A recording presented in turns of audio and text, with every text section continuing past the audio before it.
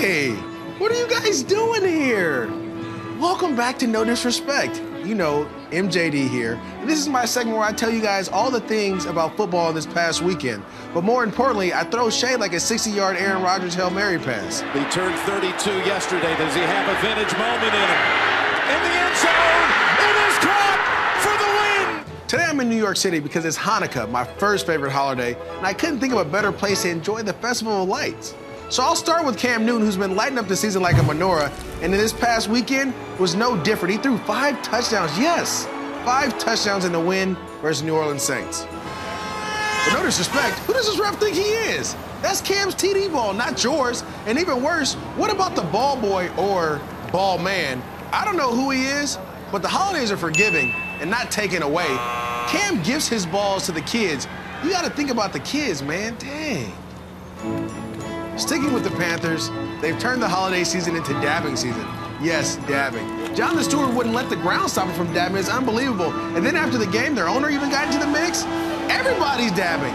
I'm even told Jets owner Woody Johnson dabbed after the game.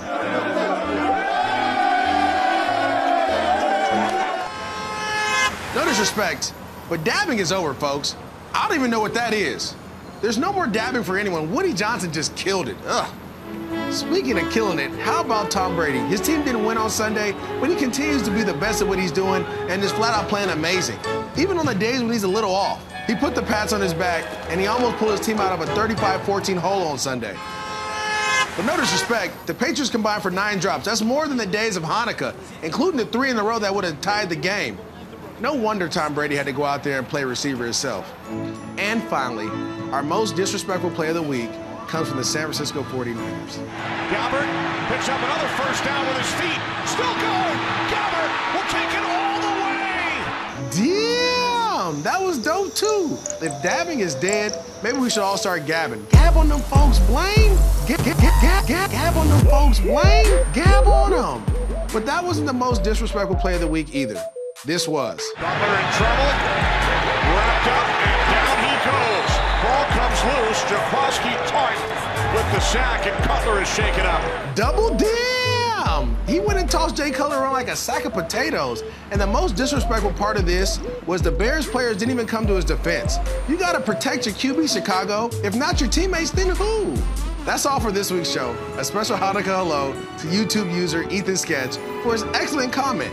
If you dish it, you gotta be able to take it too. And you were right about Javorius Buck Allen, who tore it up this past week. To the rest of you, step up your YouTube comment game or hit us on Twitter at NFL Now, and you might get a shout out on next week's show. Taxi! Taxi! Damn! I guess it's true what they say. It's impossible for a former Pro Bowler to catch a cab in this city. Unbelievable.